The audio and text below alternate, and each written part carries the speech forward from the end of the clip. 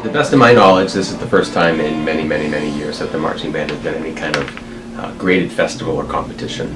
We're going to be playing music from our halftime show, uh, which is all based on Pirates of the Caribbean. Uh, I believe it's from all from the Black Pearl.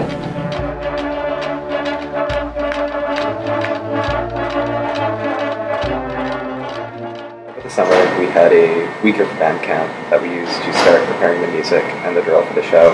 And then since then, we've had rehearsals almost every Monday night for the band to work on the drill and the music. And on top of that, we usually have rehearsals before all of our major games. I think there's a certain level of urgency that, that might be absent from practices when there is no big end game like a, a graded competition or festival. So I think the students have had just a little bit of extra urgency to their practice method and their performance methods.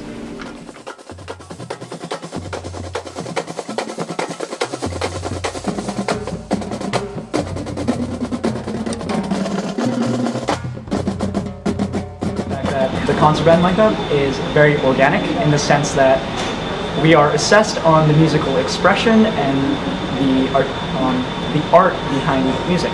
But on the other hand, the marching band MICCA is based off of visual and music, and since it is the marching band, we are mo more focused on precision and how close to perfect that we can um, bring the show to become. So this allows the band to uh, play their show for a very welcoming audience, an audience that's uh, really, really large. There'll be hundreds and hundreds of people there, uh, other students from other schools who perform, uh, and they'll be able to see uh, bands that are maybe less um, serious about marching band. They'll see some bands that are more serious about it. They'll see some very, very small bands. They'll see some massive bands. Uh, this is a way to expose our students to that, that, that culture.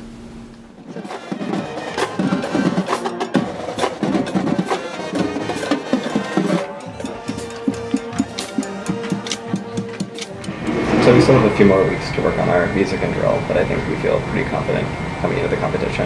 We're just hoping to do the best we can do. Based off of other schools that I've seen perform in the marching band MICCA competition, I would say that our band is definitely prepared. Overall, in our level of music and level of drill, I would say that we are most definitely ready for this competition.